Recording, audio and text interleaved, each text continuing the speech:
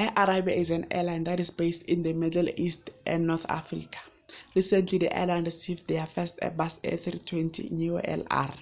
The airline is based in the United Arab Emirates and ever since it was founded in 2003, it has been operating as a low-cost carrier. The delivery ceremony was held in Germany at Airbus's facility in Hamburg. A321neo is the next generation aircraft and so far only few aircrafts have been built and only few airlines that are operating the A321neo. Air Arabia is the first Middle Eastern airline to operate the A321neo LR. Group Chief Executive Officer of Air Arabia said, We are glad to welcome the first A321 Neo LR to our fleet, which makes another milestone in Air Arabia's journey. The addition of this new aircraft allows us to expand our services to further and newer destinations while remaining loyal to our low cost business model. We look forward to receiving the remaining aircraft in 2019 as we continue to offer our customers an excellent product with more destinations to discover. Air Arabia ordered six A321 LRs, and this one represents the first of the six ordered aircraft.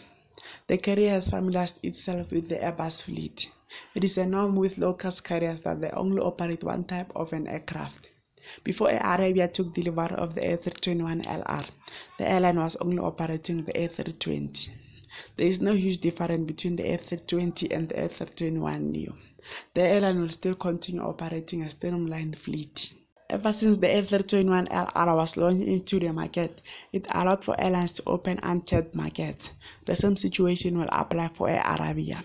The carrier will use the A321 Neo LR to expand to new medium haul markets, in addition to strengthening the existing routes with increased seat capacity.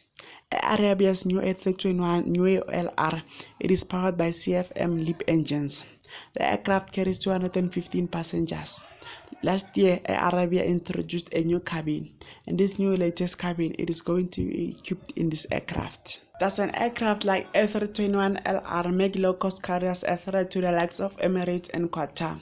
Share your thoughts in the comment section, and you can also subscribe to Star Aviation. And I also love to thank you for watching my videos.